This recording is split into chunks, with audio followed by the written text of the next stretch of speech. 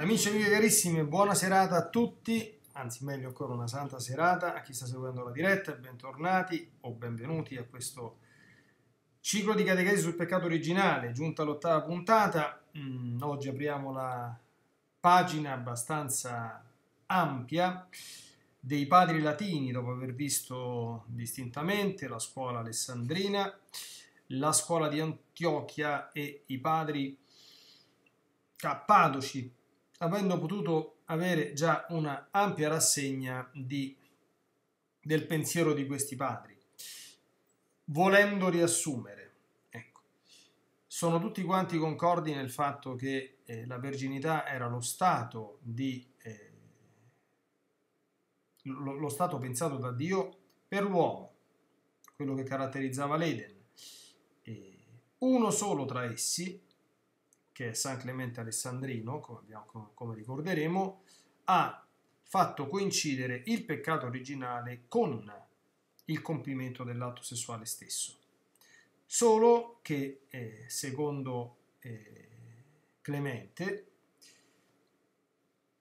il peccato non fu commettere tanto l'atto, ma anticiparne i tempi rispetto a quanto voluto da, e previsto da, da Dio. Quindi aver fatto una cosa spregiudicatamente prima che fosse l'ora. Ecco, diciamo, questa è un po' la sintesi molto molto breve, non li andiamo a rileggere tutti quanti i brani, eh, abbiamo visto anche dei grandi mh, mm, capisaldi e vedremo che le, le varianti sono sempre su questo genere, con qualche piccolo dettaglio però introduttorio, eh, scusate, non, non introduttorio, con qualche um, altro dettaglio ulteriore che focalizza alcuni aspetti che poi ci saranno utili gradualmente nel corso della nostra analisi. Quindi, dato che abbiamo focalizzato questi aspetti, io mh, cercherei, proverei, eh, speriamo, ad andare un pochino più veloce con nella eh, presentazione dei testi degli autori, fermandosi un po' di più soltanto quando c'è qualcosa di eh, originale primo grande autore che dobbiamo trattare è Tertulliano. Tertulliano che bisogna eh, un po' introdurre perché Tertulliano in, Orient, in Occidente scusate, è un po' quello che fu, un po' meno, non, non, non a quei livelli, però quello che fu Origene in Oriente. Persone intelligentissime, eh, spiriti quindi molto molto acuti, con un ingegno veramente straordinario personalità però al tempo stesso impetuose ed esuberanti. E che successe a Tertulliano in particolare, insomma, che per, questo, per questi requisiti, ecco, persone di questo genere suscitano facilmente invidie e, e contese. E quando succedono queste cose può, può, avere, può verificarsi come reazione il chiudersi o rinchiudersi oppure eh, lasciare addirittura la Chiesa per abbracciare qualche eh, setta o movimento ultra eh, oltranzista. Questo lo dico perché purtroppo Tertulliano eh, terminò la sua vita tra i montanisti, i montanisti che erano una setta ereticale appunto fondata da, da Montano che predicava appunto come prossima alla fine, alla fine del mondo, si basava su norme morali rigidissime e vedete che le cose sono alcune cose che accadono anche adesso, specialmente dalle, dalle mie parti, hanno radici antiche, annunciavano la discesa della nuova Gerusalemme celeste in una località della Frigia. Pensiamo un po' adesso non so quanti sanno che esiste un posto in Italia, non molto lontano da qui, dove dicono che la nuova Gerusalemme celeste scende lì. Forse non sanno che Tertulliano è vissuto nel III secolo, quindi pensiamo che si è convertito, lui nacque eh, a Cartagine intorno al 150, tra il 150 e il 160. E anche lui, eh, conversione adulta, si convertì in eh, intorno ai 30 anni, fu ordinato sacerdote, quindi rimase sacerdote, non vescovo, come San Girolamo del resto, e anche come Origene. E... Quindi a questa setta cominciò ad aderire intorno al 207, cominciò a simpatizzare, vi aderì pienamente il 213 e vi rimase fino alla morte, quindi anche per Tertulliano non è San Tertulliano Vedremo anche negli scritti che alcune sue posizioni, perché questi spiriti un po' troppo inquieti, eh, tendono ad esagerare. Nella vita bisogna sempre mantenere un po' di equilibrio anche quando si ha dire, un carattere impetuoso, perché eh, lasciarsi prendere, questo lo dico anche diciamo, come, come pastore eh, per qualche considerazione diciamo così introduttoria catechetica, quando si parte per la tangente, come si dice tra di noi, anche se si hanno posizioni o idee buone, poi si rischia di andare a uscire eh, di strada. È sempre molto importante mantenere in tutte le cose, ecco, ma anche quando si fa teologia, anche quando si fa eh, soprattutto vita pastorale o cose di questo genere, quindi eh, calma, pacatezza e moderazione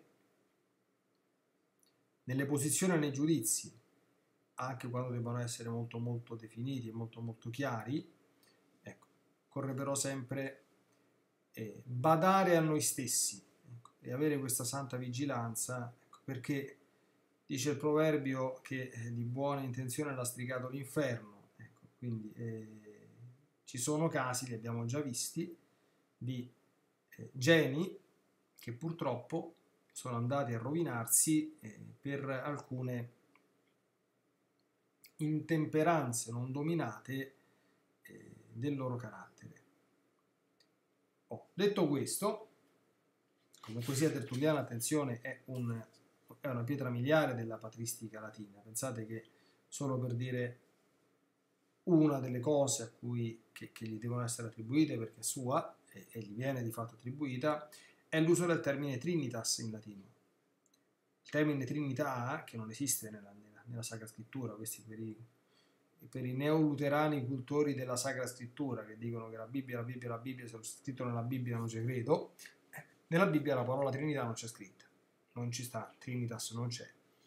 Quindi il termine Trinitas fu usato diciamo, nel, nel teologare per la prima volta in Occidente proprio da Tertulliano, non è l'unica cosa, insomma, no? Allora, ci sono dei brani, allora, Tertulliano scrive due, due opere che sono rilevanti per la nostra analisi, qui c'è un'ampia sezione eh, che, il, che il Barontini dedica a questo autore. Le opere sono il De Carne Christi, eh, anzi non due, tre perché fa concerno al demonogamia, al demonogamia, l'exortazione carita, castitatis e il demonogamia. Sono tutte quante opere mh, edite, quindi che si possono tranquillamente trovare e leggere anche in lingua eh, in lingua corrente, in lingua italiana. Allora, il De Carne Christi, come dice già il titolo, viene scritto contro alcuni eretici. Gli gnostici, l'abbiamo già accennato, che furono un flagello eh, almeno per i primi due secoli del cristianesimo, di fatto negavano la realtà dell'incarnazione, cioè che il nostro Signore Gesù Cristo avesse preso una vera carne. Quindi per chi parlava di eh, carne pneumatica, chi parlava di carne psichica, quindi una sorta di, eh, come dire, di fantasma visibile sarebbe stato nostro Signore Gesù Cristo. Quindi questo chiaramente influiva anche sulla, su quello che era successo realmente nella Vergine Maria cosa è successo nella Vergine Maria? Ecco, perché gli eretici evidentemente non ammettevano che la Madonna potesse essere Vergine Madre, quindi negavano la vera materialità della carne di Cristo e negavano la perpetua verginità de, della, della, Madonna. Ora, eh, in questo scritto, anzitutto, Tertulliano comincia ad opporre queste cose agli eretici. Cito, come possono i cristiani, dicono loro, affermare che Maria è vergine perché non ha conosciuto uomo, se ritengono che la carne del Cristo è di natura materiale e quindi nel parto ha necessariamente violato la verginità fisica. Vedete l'argomento capzioso, no? Dice, se è diventato veramente uomo, ha violato la verginità fisica. Se voi dite che non ha violato la verginità fisica, vuol dire che non è diventato uomo con una carne come la nostra, ma ci abbiamo ragione noi, c'è questa carne spirituale. I valentiniani quindi, prosegue, affermavano che la carne di Cristo non era materiale, ma pneumatica, cioè composta di spirito, o animalis, cioè composta di anima. Tertulliano confuta queste argomentazioni con un ragionamento simile a quello di Sant'Ireneo. Se lo Spirito di Dio è disceso in una matrice senza avere l'intenzione di assumere da essa la carne, perché mai vi è disceso? Se ammettiamo invece che abbia un motivo per discendere in una matrice, noi dobbiamo concludere che da essa ha preso la carne. Ecco, quindi attenzione, eh? argomento molto molto importante perché Dio non fa cose inutili. Cosa è entrato a fare nel grembo della Vergine Maria? Se deve uscirne spirito così come è entrato. Ecco. E detto questo, prosegue dicendo, è innanzitutto necessario sottolineare l'importanza del motivo per cui il figlio di Dio doveva nascere da una vergine. E qui comincia a dire qualcosa rilevante per il nostro studio, diciamo così, per la nostra indagine.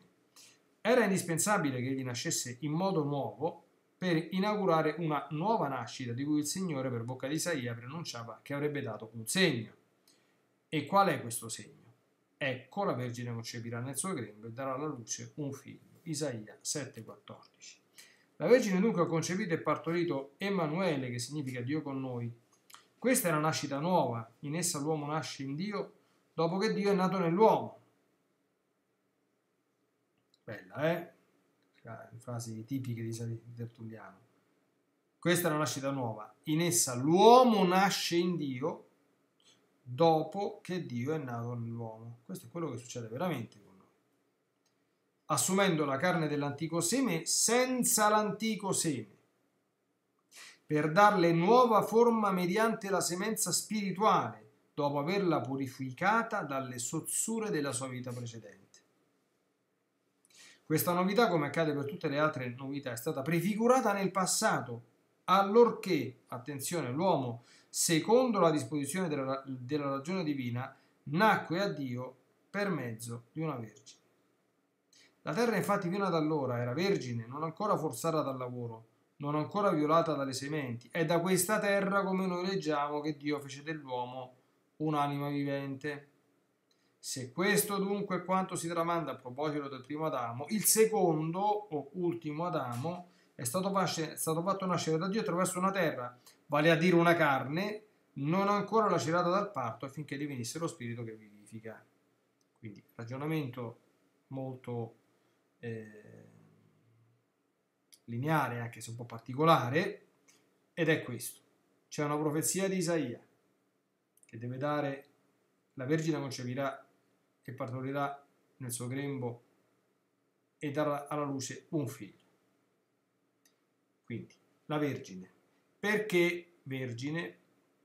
E qui Tertulliano fa un accostamento un po' allegorico. Per plasmare Adamo, dice, Dio si servì de- della terra vergine, lo plasmò dalla polvere del suolo, dice il libro della Genesi. E così, per fare la Santissima Umanità di Cristo, usò la terra vergine del corpo della Vergine, che era l'unico posto doveva essere ancora, perché la terra ancora non era stata contaminata prima del peccato, così come la carne di Maria era incontaminata. Poi abbiamo ancora una... Quindi la cosa fondamentale è che eh, ovviamente San Girolamo, eh, San, scusate, Tertulliano difende eh, la concezione virginale di nostro Signore Gesù Cristo da seme divino e non da seme umano. Ora, più avanti ancora, approfondisce. Non voglio tuttavia che il nome di Adamo sia comparso inutilmente, per cui domando da dove proviene l'appellativo di Adamo che l'Apostolo ha riservato a Cristo se l'umanità del Signore non era di origine terrestre. Attenzione che Adamo letteralmente significa tratto dalla terra in ebraico, perché terra in ebraico si dice Adama, Adamo è Adam senza la A, quindi è tolto dalla, dalla, dalla terra, no? La nostra tesi, ancora una volta, è confermata da una, dalla presenza di una disposizione razionale. Dio ha voluto recuperare la sua immagine e somiglianza che il diavolo aveva catturato in maniera uguale e contraria. Eva, infatti, attenzione, era ancora vergine allorché in lei si introdusse subdolamente la parola edificatrice di morte. Il verbo di Dio dunque doveva a sua volta entrare in una vergine per costruirvi la vita. Quello che attraverso la donna era caduto in perdizione doveva ritornare alla salvezza attraverso il medesimo sesso. Eva aveva creduto al serpente, Maria credette Gab- a Gabriele. Il peccato che Eva commise credendo, Maria credendo lo riparò. Ma Eva, tu ribatti, in quel tempo non concepì affatto per la parola del diavolo ha concepito invece. La parola del diavolo infatti fu per lei il seme che la condusse a partorire nell'umiliazione e nel dolore, diede alla luce infine il diavolo che uccise il proprio fratello. E chiaramente parla di Caino. Maria al contrario diede alla luce colui che avrebbe dato un giorno la salvezza di Israele, suo fratello secondo la carne e suo uccisore. Dio dunque fece discendere il suo verbo nel grembo di una donna perché vi facesse nascere il buon fratello, al fine di allontanare la memoria del fratello malvagio. Il Cristo per salvare l'uomo doveva venire alla luce da quello stesso organo in cui l'uomo era entrato dopo la sua condanna. Ora, a prescindere dall'interpretazione utile al nostro brano, eh, che poi vedremo anche il nostro autore fa, io vorrei però ampliare un pochino lo spettro per far notare due cose molto importanti che emergono in questo brano. Numero uno, il parallelismo antitetico Eva-Maria, che è fondamentale per la comprensione anche del ruolo di Maria nella storia della salvezza. E il parallelismo Eva-Maria è stato moltissimo utilizzato dai padri della Chiesa. Qui abbiamo una prima posi- proposizione abbastanza chiara da parte di Tertulliano Eva credette al serpente, Maria credette a Gabriele.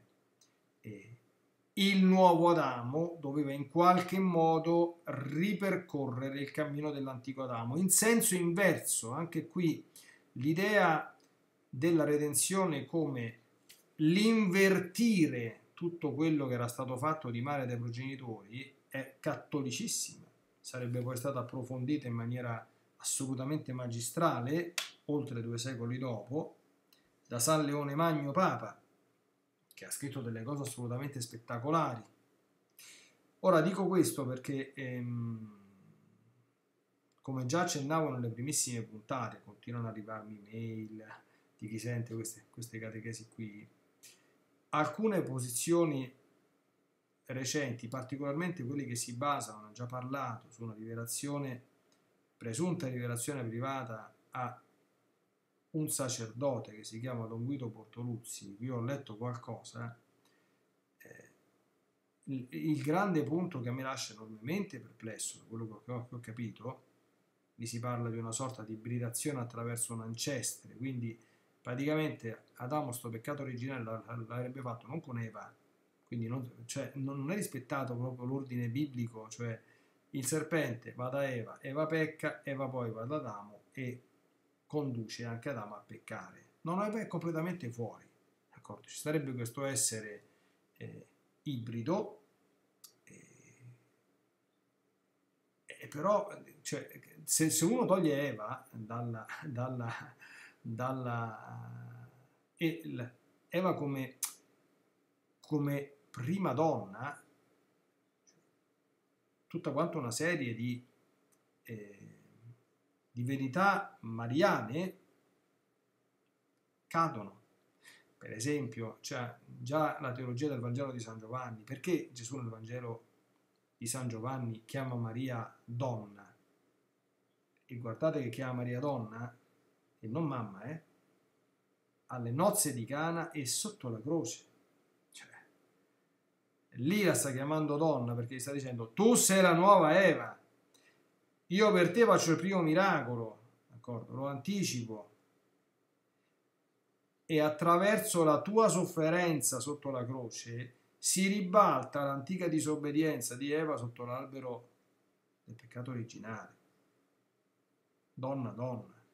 Cioè, mm, se e quando se e quando ci sarà il quinto dogma mariano sulla corredentrice, io spero vivamente che ci sia, credo fermamente che ci sarà, quando lo sa soltanto nostro Signore, ho già più di qualche volta detto che Immacolata 1854, Assunta 1950, possiamo sperare intorno al 2050 il quinto dogma? Secondo me sì, però questa è proprio una, non è una profezia, non so niente, quindi è un accostamento, dico, se si continua a rispettare il secolo, nel senso che ci vuole un secolo per digerire il dogma precedente prima di fare uno nuovo, va benissimo, ma qualunque pontefice dovesse poi eh, occuparsi di questo, e secondo me sorgerà il pontefice che farà questa cosa, uno dei fondamenti proprio imprescindibili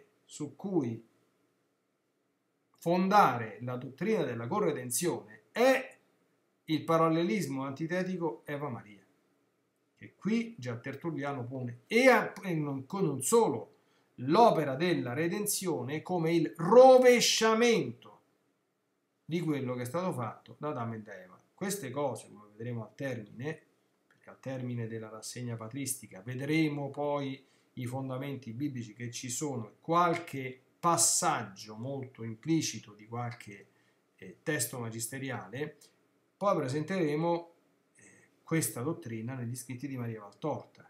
Tutte quelle cose che ho detto sono tutte perfettamente presenti, come un grande mariologo del calibro di Gabriele Maria Roschini ha notato e ha scritto, nero su bianco, il parallelismo antitetico, la, la, la, la redenzione come rovesciamento e nel peccato originale descritto da Maria Valtorta, Eva è protagonista ed è esattamente come la Sacra Scrittura dice che va da sola all'albero e poi ebbra del suo peccato lo porta ad Adamo.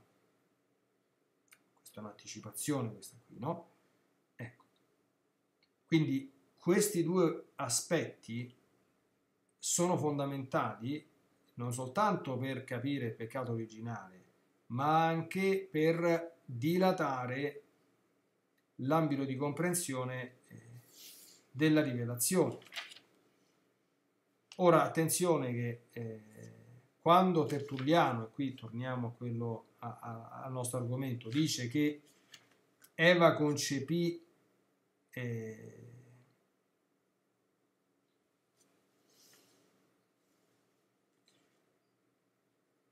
il peccato che Eva commese credendo, dice ma Eva tu ribatti, in quel tempo non concepì affatto per la parola del diavolo. E Tertulliano dice no, ha concepito invece, la parola del diavolo fu per lei il seme che la condusse a partorire nell'umiliazione e nel dolore. Gli darà luce infine al diavolo.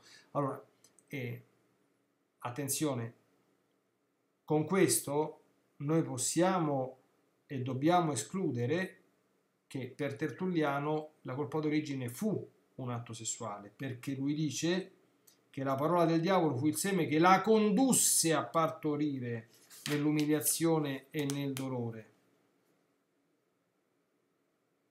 Quindi è una cosa che viene dopo. Eva prima di commettere il peccato e poi concepisce Caino, lo partorisce con dolore e partorisce un assassino. Ok? E quindi lui conclude dicendo il Cristo per salvare l'uomo doveva venire alla luce da quello stesso organo in cui l'uomo era entrato dopo la sua condanna. Qui il linguaggio capiamo, no? È esplicito, però in cui l'uomo è entrato dopo la condanna. Quindi non è che è stato l'atto che ha provocato la, la condanna, ma viene dopo. Quindi con queste parole gli conferma che solo dopo il peccato ha avuto luogo l'unione carnale, essendo l'uomo entrato nell'organo sessuale femminile solo dopo la sua condanna. E quindi questo esclude in Tertulliano il concetto che il peccato di origine sia consistito nell'unione sessuale stessa.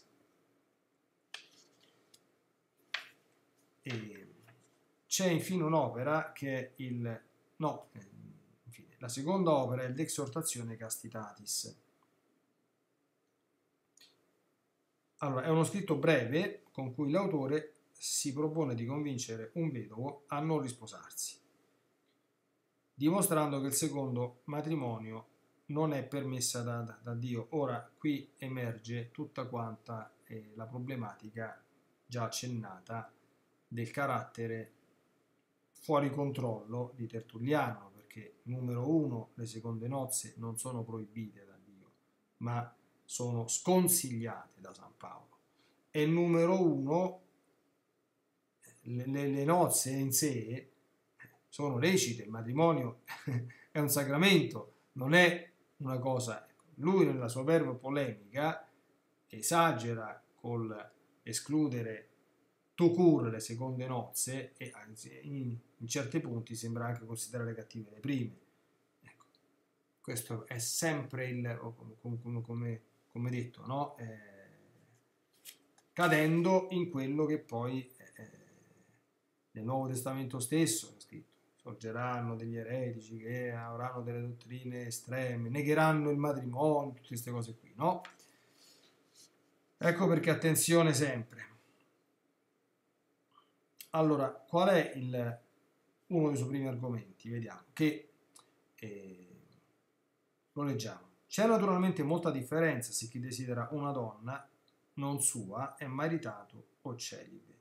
Ma anche per un celibe ogni donna è altrui fino a che non diventa sua moglie e peraltro lei diventa sua sposa facendo le stesse cose che farebbe per diventare adultera. Le leggi sembrano fare differenza tra matrimonio e adulterio perché sono diversi di fronte al concetto di illecito, non per la loro natura in sé.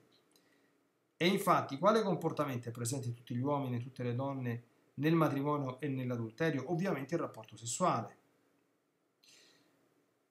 desiderabile assimilato dal Signore all'adulterio. Quindi mi chiedi, mi si chiede, non ammetti neanche le prime, cioè le uniche nozze? Non ha torto, perché anche quelle si basano sulle stesse cose che si fanno quando si commette adulterio. Quindi il meglio per l'uomo è non sposarsi, e quindi la santità della Vergine è la più grande perché non ha nulla in comune con l'adulterio. Ecco, qui non si capisce ancora bene come, più, come si capisce meglio più avanti quello che dice Tertulliano, cioè se semplicemente dice che la verginità è una condizione migliora, migliore del matrimonio o se il matrimonio è proprio da bandire. Una cosa però è interessante, lo dobbiamo ricordare. Lui dice, ci può essere un celibe o un maritato che desidera una donna. Dice un maritato non può perché commette adulterio, ma neanche un celibe. Neanche un celibe. Perché anche per un celibe ogni donna è altrui. E questo rimane vero. Quando abbiamo fatto la puntata dedicata alla, come dire, presentazione sintetica ma chiara di quello che è la perdurante e immutabile dottrina della Chiesa sul sesto comandamento. Abbiamo parlato di queste cose. Allora, di fatto, se voi ci pensate quello che vi sto dicendo, se una persona commette il peccato di fornicazione, cioè la fornicazione è la congiunzione carnale al di fuori del matrimonio. È l'atto sessuale. L'atto sessuale è sempre lo stesso, sia che uno lo commetta fuori del matrimonio, fornicazione, dentro il matrimonio, atto lecito, nel matrimonio con un'altra persona, adulterio. Ma la cosa che si fa è sempre la stessa. Ci abbiamo mai pensato questo qui? Come mai la fornicazione e l'adulterio sono illeciti e invece nel matrimonio soltanto è lecito? Punto interrogativo. Capiamo? Vuol dire che è il matrimonio che interviene e interviene in forza del sacramento a fare qualcosa, diciamo così, per togliere dalla intrinseca peccaminosità quell'atto. Figlioli miei cari, i rapporti sessuali, questo sia ben chiaro, sono peccato. Questo lo dobbiamo sempre tranne che nel matrimonio. Questo a prescindere da qualunque visione, a prescindere da tutto quello che ci stiamo dicendo in questo, quindi perché tutto il nostro dire, itinerario ha come scopo l'illuminazione di questa cosa. Guardate che oggi è completamente smarrita, oggi eh, la sessualità viene percepita universalmente come un bene positivo e da liberare e da non sottoporre a nessun tipo di limite. Per questo che ci sono le propagande anche, eh, come dire, i movimenti omosessualisti, il gender, eccetera, eccetera. Perché nella mentalità contemporanea post-rivoluzione sessuale, la sessualità è uno strumento, come dire, a disposizione dell'uomo di gratificazione e di ricerca di se stesso, di appagamento di ciò che lui ritiene eh, buono e opportuno, in cui non entra nessuno, d'accordo? Nessuno e per nessun motivo. Voi sapete che ci sono purtroppo, ahimè, delle eh, aree della Chiesa, eh, aree della Chiesa è una parola un po' troppo grossa, non gliela darei tanto questa importanza, ma degli uomini che, che, che, che sono membri della, della Chiesa eh, che come dire, eh, propugnano una certa liberalizzazione degli stessi atti omosessuali, atti omosessuali, eh, con la benedizione della Chiesa stessa. Quindi questa, questa, questa mentalità oggi diffusa non ha risparmiato purtroppo eh, nemmeno eh, casa nostra, nonostante che, se uno apre il catechismo della Chiesa Cattolica, io l'anno scorso ho fatto un ciclo di catechesi, e volutamente sul sesto comandamento ho, mi sono tenuto alla lettera proprio al testo del catechismo della Chiesa Cattolica del 1992, in modo tale che nessuno possa dire ah, queste sono cose di cent'anni fa, queste sono cose del medioevo, queste sono cose arcaiche, la Chiesa è cambiata, la Chiesa non è cambiata affatto, la Chiesa su questo non può cambiare. D'accordo? Quindi anche se Tertulliano esagera un po', vedete, la, quando ci stanno questi spiriti inquieti, bisogna capire la genialità dell'intuizione e poi sfrondarla dalle, eh, dire, da, da, dagli svalvolamenti nelle conclusioni. Quello è uno che pensa, attenzione, l'atto che fanno la persona celibe che fa fornicazione, la persona sposata che ha il coniugio carnale con, con, con il proprio coniuge e l'adultero sono lo stesso.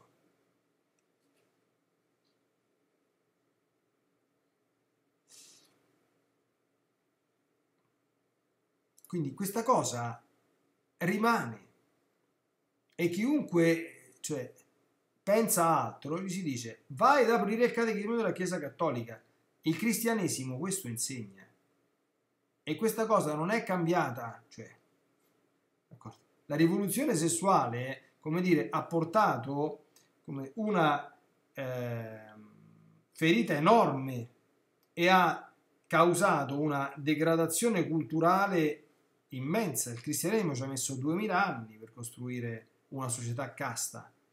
Quelli l'hanno distrutta in qualche mese aprendo delle dighe che adesso ormai sono incontrollabili. Per cui oggi vivere questa materia secondo la volontà di Dio a tutte le età, pensiamo anche ai giovanotti, ma anche agli adulti,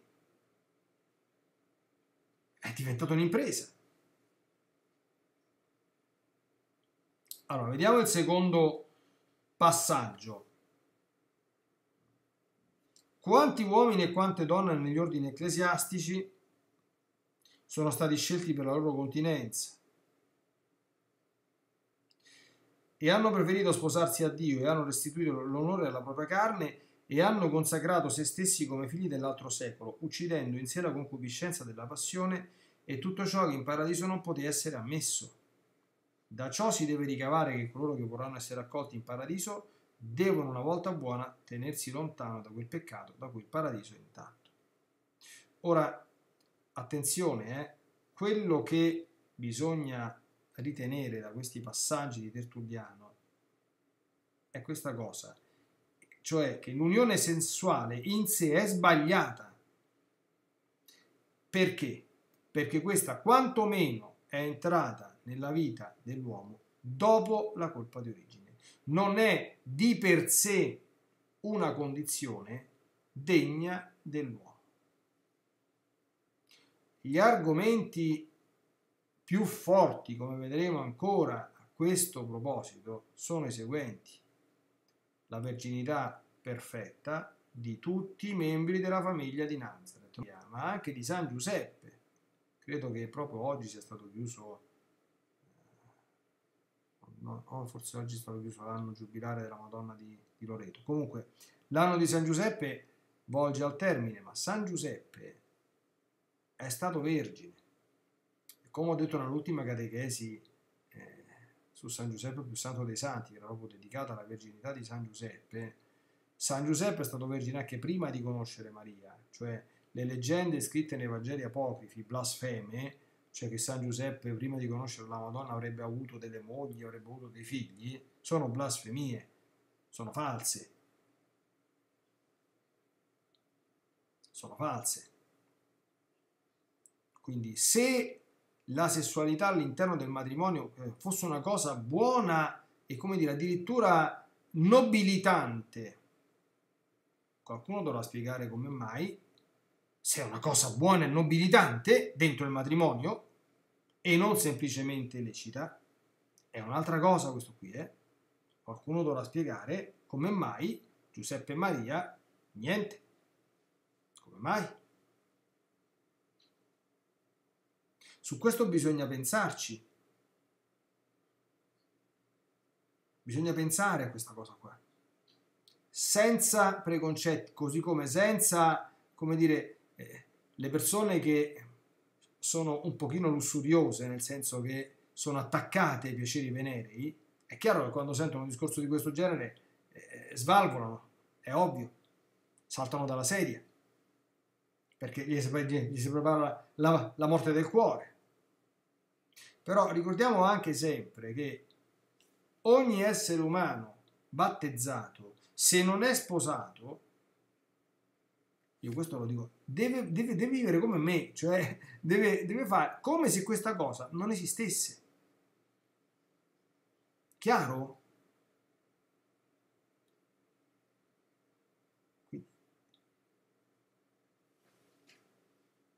Quindi, le istanze, come dire, per esempio, o omosessualiste, nel senso di chiedere alla Chiesa che un giorno venga a dire che è possibile eh, compiere gli atti di amore omosessuale, non, cioè non possono proprio esistere, non possono, perché la Chiesa continua ad affermare che non soltanto questo non si può, ma nemmeno gli atti eterosessuali si possono compiere se due persone non sono unite dal sacramento del dal sacramento del matrimonio.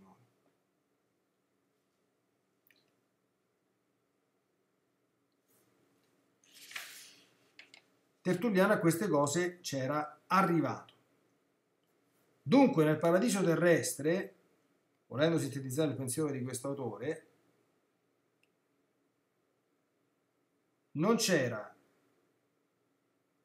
unione sessuale né desiderio sessuale, né quindi unione carnale. Non facevano parte del progetto originario di Dio. Ed ecco perché Maria e Giuseppe non l'hanno vissuto. Perché Maria e Giuseppe formano una nuova famiglia dove quello che era il progetto di Dio si vede, viene ripristinato, sono in loro, ma lì, cioè, la famiglia di Nazareth è l'unicum per antonomasia, perché soltanto la Madonna, l'abbiamo festeggiata l'altro ieri, era l'Immacolata Concezione. Soltanto Gesù Cristo era il figlio di, eh, di Dio fatto carne per opera dello Spirito Santo, insomma, no? Eh, di vergini e di perfettamente casti, insomma, oltre a San Giuseppe ce ne sono stati tanti nel corso della storia della Chiesa. Ecco, però di perfettamente casti sposati pochissimi. L'imperatore Sant'Enrico che hanno fatto con Santa Cunegonda il cosiddetto matrimonio giuseppino, ma sono pochi i casi almeno attestati nel corso della storia della Chiesa, certo non, non, non da dita di una, di una mano, ma comunque non numerosissimi.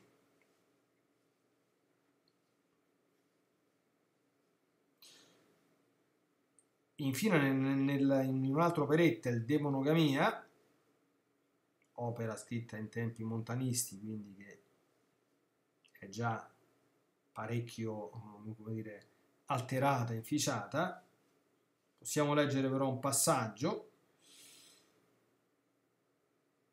Arrossisci carne che ti sei rivestita di Cristo, ti sia bastevole l'esserti sposato una sola volta, così come sei stata destinata fin dall'inizio e come sei chiamata ad essere in vista della fine.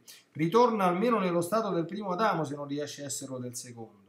Quegli gustò una sola volta il frutto dell'albero proibito, una sola volta nebbe il desiderio, una sola volta coprì le proprie vergogne, una sola volta arrossì davanti a Dio, una sola volta nascose il proprio rossore, una volta sola fu esiliato dal paradiso della santità e attenzione, e una volta sola, uscito di là, passò a nozze. Una volta sola, uscito di là, passò a nozze. Quindi, con questo viene ribadito ulteriormente che l'unione sessuale non ha avuto luogo nella condizione originaria prima della disobbedienza, ma solo dopo il peccato e l'esilio dal paradiso. E che perciò essa non faceva parte del progetto originario di Dio per il genere umano. Quindi capiamo, no? Su questa cosa, ormai come abbiamo, ne abbiamo visto un po', i padri della Chiesa sono concordi, eh, quasi tutti, quindi questa cosa, cioè quando c'è una concordia di questo genere, noi non possiamo fare finta di niente.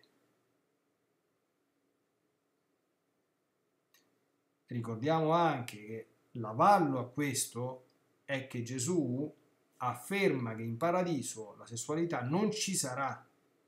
Nella polemica con i Sadducei con i Sadducei, i figli di questo mondo prendono mogli e prendono mariti ma quelli che sono eh, giudicati degni della risurrezione non prendono né moglie né marito. Quindi che significa? Nello stato di paradiso celeste la sessualità non ci sarà, ma non c'era neanche nello stato di paradiso terrestre.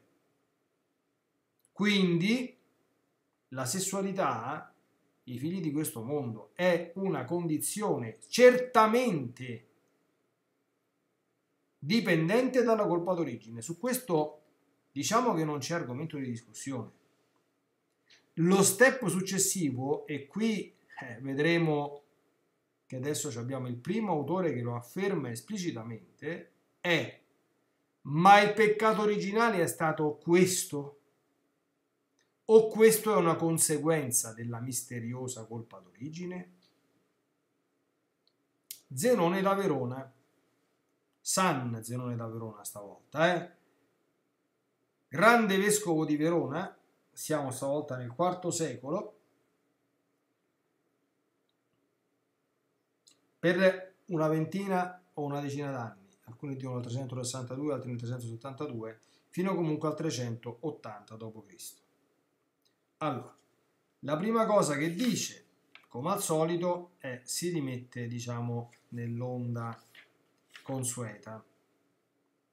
Le omelie Qui i brani che analizziamo sono delle omelie e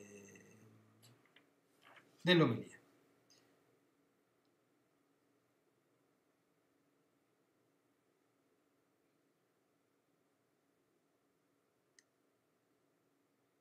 Esiste un altro amore, del tutto contrario alla nostra salvezza, col quale si accorda sicuramente la disposizione dell'uomo, perché è riconosciuto essere effimero e fragile.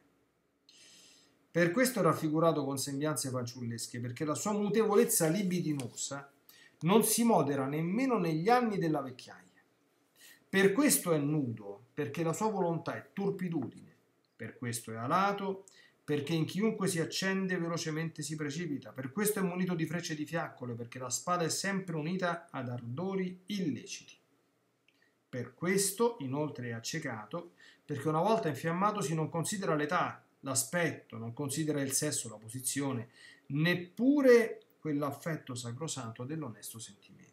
Questo tipo di amore incendiò con i suoi fuochi, attenzione, il petto di Eva, questo tipo di amore uccise Adamo con le sue frecce. Quindi, allora, in questo brano Zenone contrappone all'amore di Dio e del prossimo che ci porta alla beatitudine, un altro amore del tutto contrario alla nostra salvezza, ferma l'autore. E prendendo lo spunto dalla, dalle raffigurazioni di Cupido, l'avremmo capito, ecco, leggendo il testo, descrive le caratteristiche di questo amore che possiamo definire amore di concupiscenza. Come un bimbo, perché il suo ardore libidinoso non si spegne nemmeno nella, nella vecchiaia, ha affermato. Come i due anziani che furono presi da un'ardente passione per Susanna, si legge nella Sacra Scrittura, no? Moglie di Joachim, libro del profeta Daniele, capitolo 13. È nudo perché la brava, eccetera, eccetera, no? Quindi, in, in poche parole, si è lasciato senza freni questo amore di concupiscenza, non ha rispetto per niente e per nessuno. Ma alla fine del brano c'è il punto che ci interessa. È questo amore di concupiscenza che incendiò con i suoi fuochi il petto di Eva e uccise Adamo con le sue frecce. Quindi i progenitori, secondo Zenone, si infiammarono di amore lussurioso e commisero il peccato che li portò alla morte, prima quella spirituale e poi quella fisica.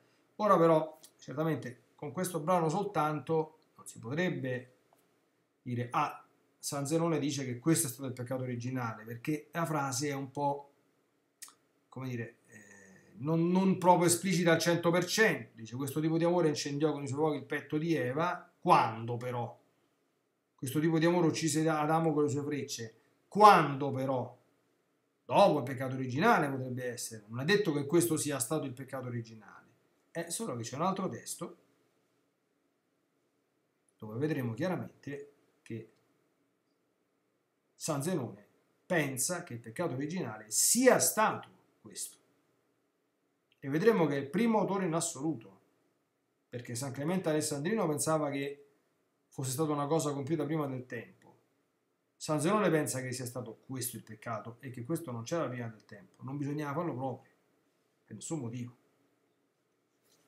Di nuovo leggo e cito. Forse qualcuno potrebbe dire, dunque Abramo fu peccatore, attenzione all'argomento, eh? questo è un argomento che poi ritornerà nella disamina biblica.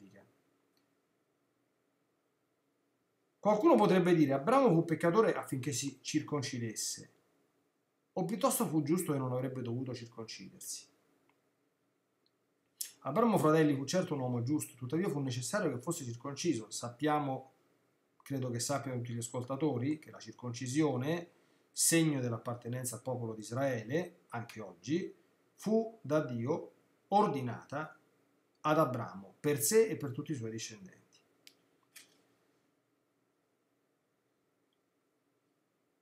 Dunque Abramo era integro, come Enoch ed altri, fu giustificato e dopo fu circonciso.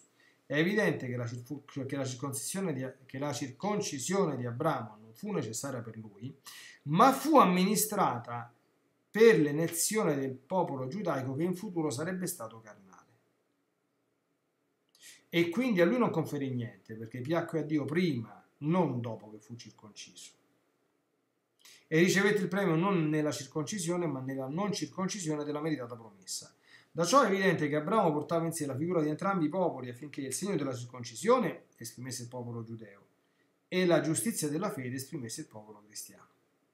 Ora attenzione, aggiungi che questa circoncisione non tanto offre la salvezza, attenzione, quanto piuttosto indica il luogo e il punto di partenza del crimine. Infatti Adamo, cogliendo con questo membro l'organo sessuale, eh, il frutto proibito, in latino è illicitum, introdusse il diritto della morte nel genere umano. Per necessità dunque Dio diede questo segno al popolo lussurioso affinché, poiché indica chiaramente il luogo della colpa sessuale, matricalis della matrice, ossia l'organo sessuale femminile, il popolo conosca anche gli altri crimini che sono da evitare. Ora attenzione, se non esistava, come tutte quante le persone intelligenti, questo io dico sempre che usare bene l'intelligenza e farsi le domande giuste. Ah. Si chiede scusate ma perché tra tante cose ma scusate ma perché l'appartenenza al popolo di Israele deve avvenire attraverso questo, questo gesto così barbaro insomma no? Per certi aspetti. Cioè, un annetto fa ho letto sul giornale, su, da qualche parte, che non mi ricordo che chi, insomma, un, una famiglia, non mi ricordo se musulmana, credo musulmana, non, non, non, non mi ricordo, ma mi ricordo l'informazione. Insomma, hanno circonciso questa creatura e quella era, era morta, insomma, perché è un gesto anche un pochino insomma, a me fa un pochino di depressione anche a pensarci, insomma, fa proprio senso, insomma. è una cosa un po', un po', così, no? Eppure, oi, cioè, eh, Dio è uno, eh? Cioè, non, è, non, è, che Dio ce ne sta, non è che c'è il Dio dell'Antico Testamento e il Dio del Nuovo, cioè Dio ha ordinato quella cosa che è andata avanti per duemila anni quasi, mica, mica, mica per una settimana, o meglio, va avanti ancora per il popolo di Israele. E perché?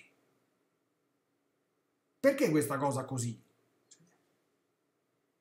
Se poteva fare un altro, un altro modo per, per, per designare la modalità di, di, di, di appartenenza. So, fate un bel tatuaggio, cioè insegna a un bel tatuaggio con la stella di Davide sul petto, per esempio. Che ne so, io adesso sto, sto, sto dicendo la, la, prima sciocchezza, no? Eh, se uno vuole lasciare un segno indelebile nella carne, mica per forza devi fare una cosa del genere. E perché? E perché? Lui afferma indica il luogo e il punto di partenza del crimine. Adamo, cogliendo con questo membro il frutto proibito. Adamo lo ha colto con questo membro, Eva no, lo vedremo, ma Adamo l'ha colto con questo membro, il frutto proibito, ed è stata la causa della rovina del genere umano. Ora capite che queste espressioni pesano una tonnellata. Perché, a differenza di Clemente, Zenone è l'unico ad affermare in modo esplicito che il peccato originale è consistito proprio nell'unirsi sessualmente, trasgredendo la volontà divina, che aveva progettato un misterioso altro modo per la moltiplicazione del genere umano. Siamo arrivati quindi a un punto significativo diciamo, della nostra indagine. Perché siamo arrivati finalmente a un padre che dice questo fu il peccato originale. Riprendiamo la settimana prossima, amici carissimi, per qualche ulteriore step in questo nostro viaggio. La mia benedizione su tutti la Madonna sempre vi, vi protegga, a chi ha seguito la diretta una santa notte e a tutti alla prossima.